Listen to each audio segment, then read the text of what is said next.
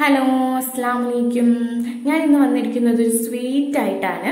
Chocolate sweet നിങ്ങൾക്ക് എല്ലാവർക്കും വീട്ടിൽ പെട്ടെന്ന് റെഡിയാക്കി എടുക്കാൻ പറ്റിയ ഒരു സ്വീറ്റ് ആണ്. ഇതിന് നമുക്ക് ഗ്യാസോ ഓവനോ ഒന്നും തന്നെ വേണ്ട. പിന്നെ അതുപോലെ തന്നെ നമ്മൾ ഇതിൽ ചോക്ലേറ്റ് യൂസ് ചെയ്തിട്ടുമില്ല. നല്ല ടേസ്റ്റി ആയിട്ടുള്ള ഒരു സ്വീറ്റ് ആണ്. അപ്പൊ എന്റെ ചാനൽ ഇഷ്ടപ്പെട്ട ഷെയർ ചെയ്യുക ലൈക്ക് ചെയ്യുക പിന്നെ ഇതുവരെ സബ്സ്ക്രൈബ് ചെയ്യാത്തവരാണെങ്കിൽ സബ്സ്ക്രൈബ് ചെയ്യണേ. അപ്പൊ നമുക്കിത് എങ്ങനെയാണ് ഉണ്ടാക്കുന്നതെന്ന് നോക്കാം.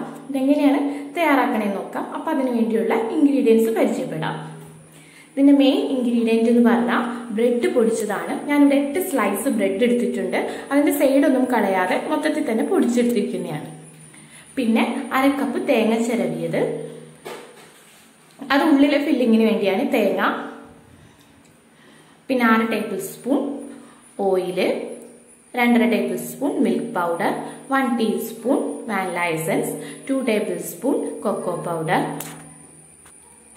അരക്കപ്പ് പഞ്ചസാര പൊടിച്ചത് അരക്കപ്പ് പാൽ അരക്കപ്പ് കണ്ടൻസ് മിൽക്ക് ഞാൻ ഈ കണ്ടൻസ് മിൽക്ക് വീട്ടിൽ തയ്യാറാക്കിയതാണ്. നമുക്ക് പെട്ടെന്ന് തന്നെ കണ്ടൻസ് മിൽക്ക് വീട്ടിൽ തയ്യാറാക്കിയെടുക്കാം. അരക്കപ്പ് തേങ്ങ എടുക്കാം.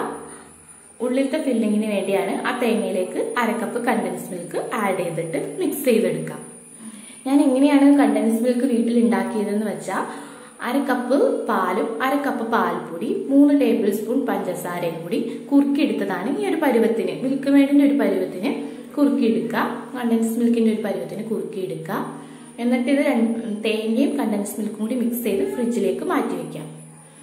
അപ്പോൾ നമുക്ക് ഫസ്റ്റ് ലെയർ ഉണ്ടാക്കാം. അതിനുവേണ്ടി ബ്രെഡ് പൊടിച്ചതെടുക്കുക.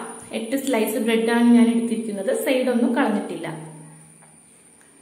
അതിലേക്ക് അരക്കപ്പ് പഞ്ചസാര പൊടിച്ചത് ആഡ് ചെയ്യുക പ്രത്യേകം ശ്രദ്ധിക്കുക പൊടിച്ച പഞ്ചസാര ആഡ് ചെയ്യുക അതിലേക്ക് രണ്ടര ടേബിൾ സ്പൂൺ പാൽപ്പൊടി ആഡ് ചെയ്യുക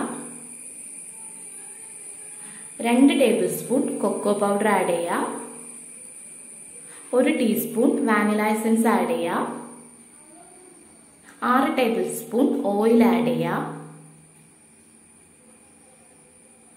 അതിലേക്ക് അരക്കപ്പ് പാൽ ഡയറക്റ്റ് ആയിട്ട് യൂസ് ചെയ്യരുത്. കുറച്ച് കുറച്ചെടുത്ത് നമ്മൾ കുഴച്ചെടുക്കാം. ഏകദേശം ഈ ഒരു പരുവത്തിന് നമ്മൾ കുഴച്ചെടുക്കുക ഭയങ്കര ലൂസായിട്ട് കുഴക്കരുത്. ഈ ഒരു പരുവത്തിന് കുഴച്ചെടുക്കുക എന്ന് നമ്മൾ ബട്ടർ പേപ്പർ എടുക്കുക അതിലേക്ക് നമ്മുടെ ഈ മിക്സ് കുഴച്ച് വെച്ചിരിക്കുന്ന ഈ മിക്സ് ഇട്ട് കൊടുക്കുക എന്നിട്ട് പതിയെ പ്രസ് ചെയ്യുക അപ്പൊ കയ്യിലാവാതിരിക്കാൻ കുറച്ച് ഓയിൽ വരട്ട. എന്നിട്ട് പതിയെ പതിയെ പ്രസ് ചെയ്തൊന്ന് പരത്തിയെടുക്കുക എന്നിട്ട് നമ്മൾ ബട്ടർ പേപ്പർ അതിന്റെ മേളിലേക്ക് ഇട്ടിട്ട് എന്തെങ്കിലും നൈഫോ അല്ലെങ്കിൽ നമ്മൾ ചപ്പാത്തി കുഴക്കണ കോൽ പരത്തണ കോലുണ്ടല്ലോ ആ കോൽ വെച്ച് ഒന്ന് പരത്തിയെടുക്കുക അല്ലെങ്കിൽ ഇങ്ങനെ ഒന്ന് ഏതെങ്കിലും നൈഫ് വെച്ച് ഒന്ന് പ്രസ് ചെയ്ത് പരത്തിയെടുക്കുക എങ്ങനെയായാലും ഒന്ന് ജസ്റ്റ് പരത്തി പരത്തിയെടുത്താൽ മതി.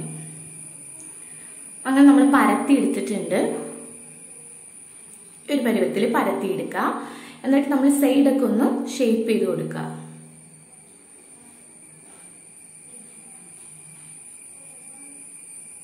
അപ്പൊ നമ്മൾ സൈഡൊക്കെ നന്നായിട്ടൊന്ന് ഷേപ്പ് ചെയ്ത് കൊടുത്തിട്ടുണ്ട്.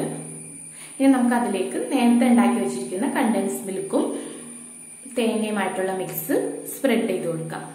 മൊത്തമായിട്ട് സ്പ്രെഡ് ചെയ്ത് കൊടുക്കാം. അപ്പൊ നമ്മൾ എല്ലായിടത്തേക്കും സ്പ്രെഡ് ചെയ്ത് കൊടുത്തിട്ടുണ്ട്.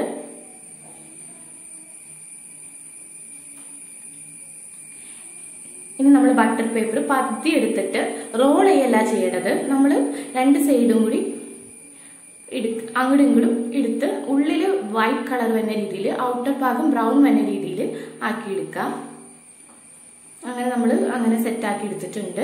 ഇനി നമ്മളിതൊരു അഞ്ച് അല്ലെങ്കിൽ ഒരു ആറ് മണിക്കൂർ ഫ്രിഡ്ജ് ഫ്രീസറിൽ വെച്ച് സെറ്റ് ചെയ്യുക ഫ്രിഡ്ജിൽ വെക്കരുത്. ഫ്രീസറിൽ വെച്ച് സെറ്റ് ചെയ്തെടുക്കുക ഫ്രീസറിൽ ഒരു ആറ് മണിക്കൂർ വെച്ച് ഇപ്പൊ രാത്രി ഉണ്ടാക്കി വെക്കുകയാണെങ്കിൽ രാവിലെ നമുക്ക് എടുത്തു കഴിഞ്ഞാൽ നല്ല രീതിയിൽ ഇതുപോലെ ഇങ്ങനെ കട്ട് ചെയ്തെടുക്കാൻ പറ്റും.